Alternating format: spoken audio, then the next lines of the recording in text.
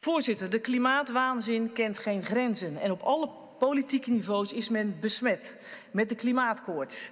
En hoe hoger het politieke bestuur, des te onderzichtelijker het wordt. Het voorliggende wetsvoorstel komt uit de Europese Hoge Hoed. En dan moet je oppassen.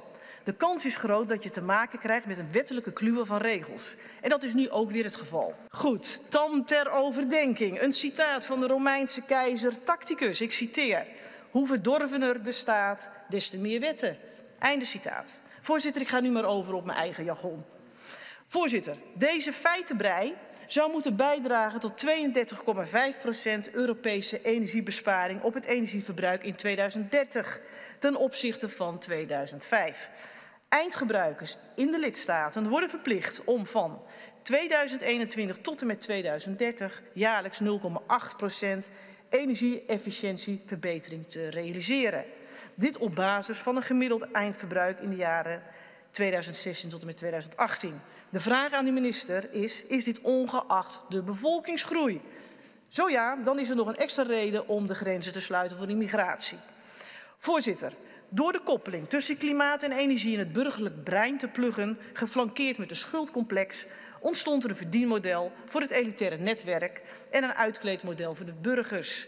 Met deze koppeling in de hand streeft de regering naar 49% emissiereductie van broeikasgassen met als gevolg het primaire energieverbruik moet terug naar 1950 petajoule in 2030.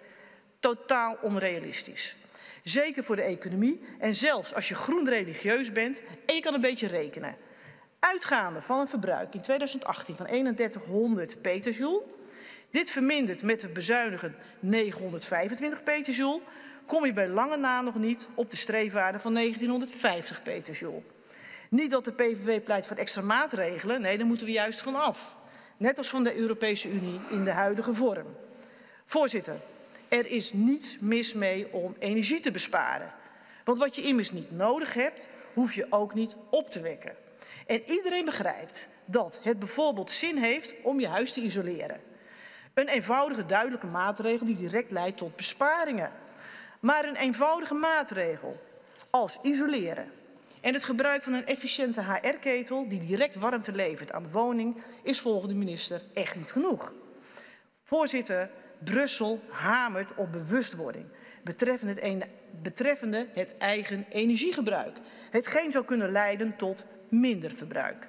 En schrijft nu extra eisen voor betreffende energiemeters voor verwarming, koeling of warm water in zaken huishoudelijk gebruik. Er moet meer gemeten worden en meten is weten. Zou dit kabinet ook eens moeten toepassen op het terrein van COVID-19? Maar ja, je blijft natuurlijk wel selectief.